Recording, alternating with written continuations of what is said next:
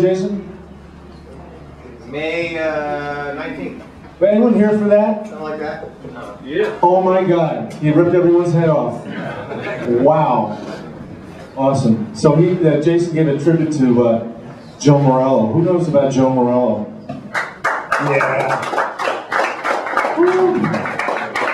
Boy, he's a huge influence on me. And uh, Joe, uh, the Dave, you, you'll probably, if you don't know who Joe Morello was, you probably recognize the name Dave Brubeck.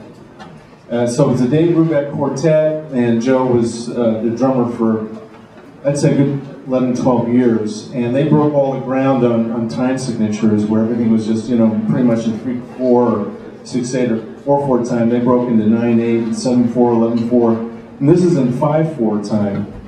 Uh, their first hit, I'll bet a lot of you remember this, called Take Five. Of you remember that? That's, it's the biggest jazz hit uh, of, of his time, anyway. Maybe something's, you know, surpassed that. But it is amazing to me. I think it came out in 1960, a, a, jazz tune that made the charts in 5-4 time with a drum solo in it. So it was so successful that the next uh, album they did, they called this Far More Drums.